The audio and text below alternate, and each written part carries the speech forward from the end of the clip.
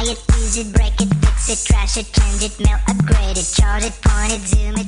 Autore di una buona partenza, a dispetto della breve disgrezione nella via di fuga compiuta poco prima di imboccare la sezione dello Rouge Radion, al termine dei 44 giri previsti, il finlandese Kimi Raikkonen ha regalato alla Ferrari il primo successo stagionale, maturato fin dai primi passaggi anche grazie ad una F60 apparsa particolarmente competitiva sui curvoni e i saliscendi di Spa-Francorchamps. Il portacolori della scuderia di Maranello è rimasto inizialmente incollato agli scarichi della Force India del poleman Giancarlo Fisichella, salvo poi assumere il comando delle operazioni dopo appena quattro tornate. Guadagnata la leadership, Raikkonen non è più stato realmente impensierito da nessun concorrente, sebbene Fisichella abbia seguito come un'ombra il ferrarista fino allo sventolare della bandiera scacchi. Il 36enne pilota romano ha quindi concretizzato quanto di buono fatto vedere nelle prove ufficiali, artigliando una preziosissima piazza d'onore alle spalle di Raikkonen, quasi come se il destino avesse scelto proprio lui per proporlo quale naturale sostituto del poco efficace Luca Badoer a Monza,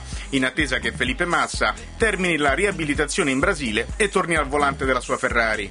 A completare il podio ci ha pensato il maidomo Sebastian Vettel, partito piuttosto indietro, ma capace nonostante tutto di agguantare il terzo gradino dopo una gara tutta all'attacco. Risultato incoraggiante per il duo BMW composto da Robert Kubica e Nick Heidfeld, col 24enne pilota polacco che è riuscito a precedere sulla linea del traguardo il compagno di squadra tedesco. Poca gloria per la McLaren e Iki Kovalainen, unico superstite tra i piloti della scuderia di Walking, ha badato a non commettere errori risalendo bene dalle posizioni di rincalzo, per poi concludere in sesta piazza. In zona punti Rubens Barrichello, protagonista in negativo al via, complice uno start a rilento, e la punta di diamante della Williams Nico Rosberg, autore ancora di una gara consistente. Giornata da dimenticare invece per l'altro alfiere della Red Bull, Mark Webber, soltanto nono all'arrivo, a causa di un drive-thru giustamente combinatogli dai commissari sportivi per un comportamento poco corretto tenuto nei confronti di Heidfeld, in uscita dai box subito dopo le operazioni di cambio gomme e rifornimento. Persa la calma, l'australiano è incappato in un paio di errori di guida che ne hanno ulteriormente limitato le ambizioni, facendogli quindi perdere terreno. Delusione comprensibile in casa Toyota,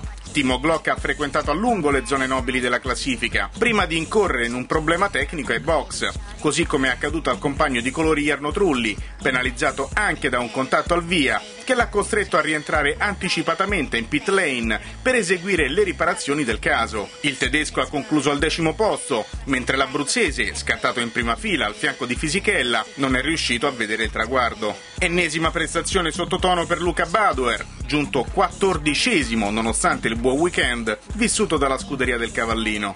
Ricordiamo infine la grande confusione al momento dello start, con ben quattro concorrenti eliminati dopo pochi metri e conseguente ingresso della safety car. Un terzacoda dell'irriconoscibile Jenson Button alle comb ha seminato il panico privando di possibili punti il campione del mondo in carica Lewis Hamilton e gli incolpevoli rookies Romain Grosjean e Jaime Alguersuari. Ritiro per il due volte ridato Fernando Alonso, entrato in contatto con la Forza India di Adrian Sutil al momento dello spegnersi del semaforo rosso e successivamente vittima di un problema nella gestione del copricerchio di una ruota. Prossimo appuntamento sull'autodromo di Monza, dove Vettel si presenterà con tutte le intenzioni di rendere la vita difficile al leader del campionato Button, inseguito più da vicino anche dal compagno di squadra Barrichello.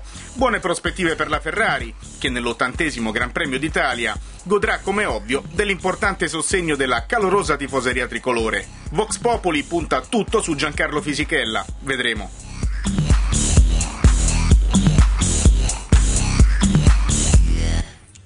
Technologic. Technologic. Technologic.